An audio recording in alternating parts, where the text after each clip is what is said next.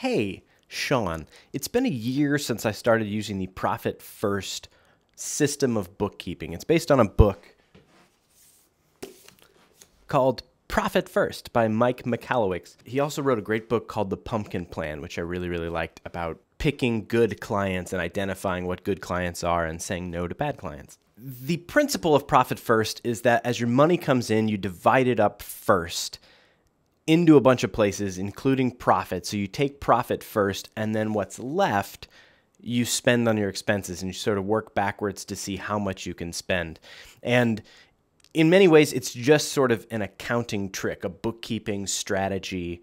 Um, but for somebody like me who did not come from a business background, I found it so helpful. And a year later, I can say, I love this system. I don't think I'll ever outgrow it. It's not something that I think changes, like, oh, it just helped me as I was getting started. Um, because I started it at like year 10 of running my business. And I, I don't see a reason that I will ever leave this system now after testing it for a year. And so the system is basically this you open a bunch of bank accounts and then you determine a series of percentages that help you divide that money across these bank accounts. And so for me, I have six bank accounts. I have an income account where all of my money from from clients, from online revenue, wherever money comes from, all of it goes into the income account. I never deposit money into any other account. From there, I have a contractor's account, which is the account that when I write checks to pay my contractors, that all comes out of that contractor's account. And so if I, if I get a job before I divide that that money up to the other accounts, I always take out the chunk that's going to need to be paid to my contractor so that that money is never messed with. It never goes anywhere except directly to my contractor So if I get $6,000, but I know 2400 of it is going to contractors, I just take that out and and put it in my contractors accounts so that I never accidentally spend it or lose it or borrow from it. That money is going to my contractors so that I never screw anyone over or ask them to like wait till you cash that check, please.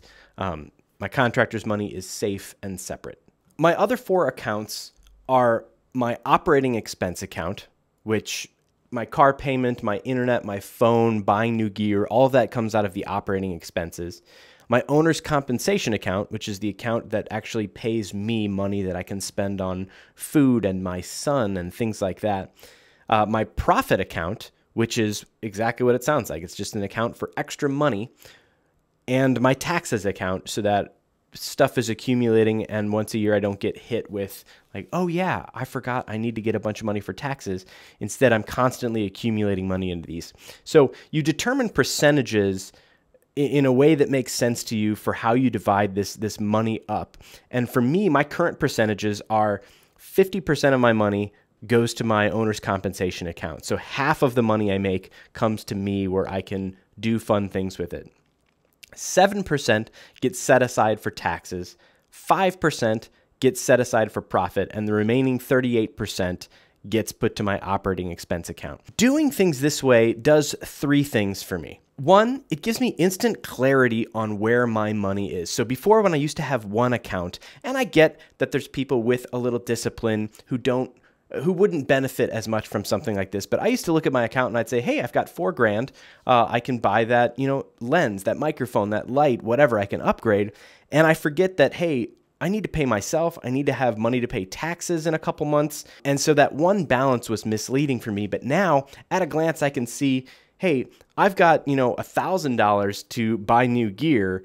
And that still leaves money to pay myself and money to pay taxes and sets money aside safely as profit. So, that clarity to adjust your spending to fit where your money is actually going to end up is huge. And so that's a lot of what Profit First is about is working backwards to say this is how much money I have in my operating expense account. So I need to get rid of all these expenses so that I know that I'm only living on this. And so a year ago I whittled down all of my expenses. I canceled every subscription that I had and built back slowly to say these are the things that I need to run my business. And now I can say and I've talked about this in other videos, but now I can say I know that it costs me $1,100 a month to run my business. And that includes my car payment, my gear insurance, all of the subscriptions, my cell phone, everything is included in that. So I know that that's how much money I need. And anything above that, I'll be able to spend on upgrading gear uh, or switching my percentages to pay myself more. And that's what I did. As I came back from paternity leave and started making money again. My profit account has been accumulating money at 5%, and I've, I've adjusted these things. It was at 10% when things were really, really good uh, before I took paternity leave, and I, I built that up a little bit. And I borrow from that if a client is paying late and I need to pay contractors, I borrow from the profit account, transfer to the contractors, and then when I get paid, I replenish that payment back to my profit. By doing it this way, not only do I have clarity on where my money is, but it also helps me determine where I want my money to go. And so when I want to pay myself more, rather than look at what's left in my account and give it to myself, I separate these percentages ahead of time to say, I want half of that money.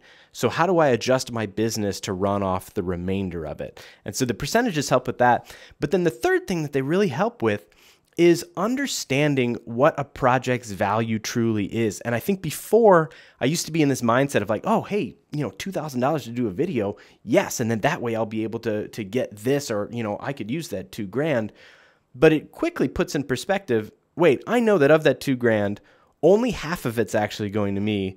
Only a piece of it is going to be able to purchase gear, and the rest is getting set aside for taxes. So it's not actually it, it, it, it clears things up for me to say I know what a project is worth, and when I when I bid a project and I say you know this is going to be X amount of dollars, I know that from that I'm getting paid a certain percentage. A certain percentage is going to pay my bills, and it becomes very easy to say, hey, I don't I don't want this project. I can't handle this project financially because it doesn't pay enough to justify what I need it to do. As where before I would have said like, oh, 800 bucks, sure, I could use 800 bucks, but I know that it's going to tie me up because I can see where that's going to get divvied up later. So after a year, I love the system. I feel like I have control of where my expenses are, and then I'm finally doing this same thing in my personal life on the other side to that money that does end up coming to me how much of that goes to rent and to gas and things like that because now it puts those projects in even more perspective to say of that 2 grand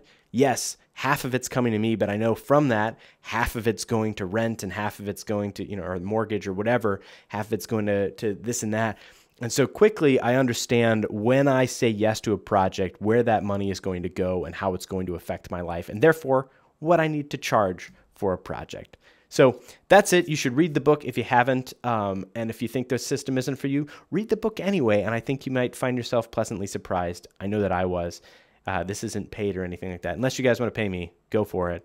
Um, but I'm just a fan, and it really worked in turning my business and my finances around. Thanks for watching. See you later. Bye.